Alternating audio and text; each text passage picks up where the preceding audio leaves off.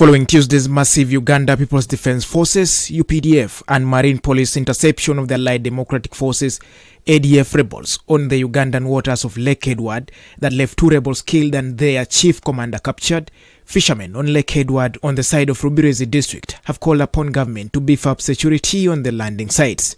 The fishermen made this outcry during a security meeting held at Kazinga Channel View Resort in Katunguru Sub-County, Rubirizi district. Um, Amos Mwesije, a fisherman, revealed that due to the security reasons, they now meet high costs of transport due to fear of staying at the landing sites. He added that when they set their nets, they go back home and sleep and come back later instead of spending the night at the lake shores. Due to the catch, we have the catch is low and we, the, the price of the fuel is high. So now we are using the fuel four times. We go there four times. We go, we come back, we go, we come back instead of using of, of, use, of using 60,000 now we are using 100,000 every day and which we cannot get from the catch.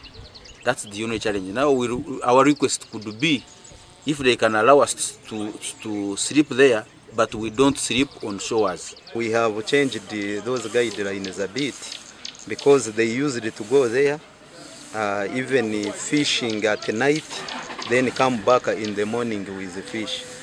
But because of the insecurity around conditions, I may not say insecurity, but conditions around, uh, we have changed the system. Bron Kikanshemeza, the Rubirizi resident district commissioner, said that not allowing fishermen to stay on the lake after laying nets is a directive.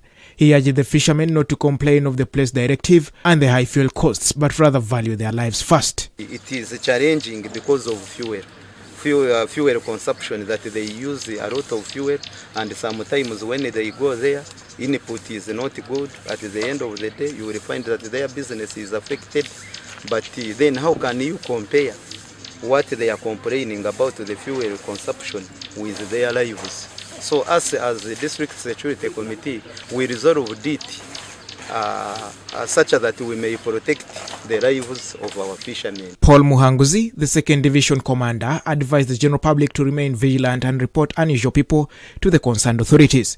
He recommended that the fight against ADF rebels should now be a responsibility of every Ugandan, not only armed forces. Not take it for granted to say that uh, whoever comes, you just give accommodation without checking without knowing.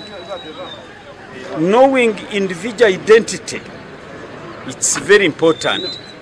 And once you get suspicious with that person alert the authorities around. Even if there is no armed person near you but the local leaders can take action.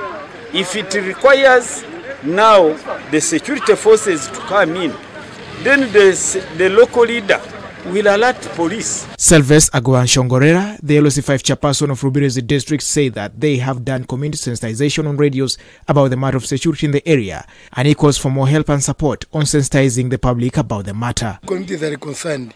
We've been going to the radio with the RDC to talk to people about the security measures.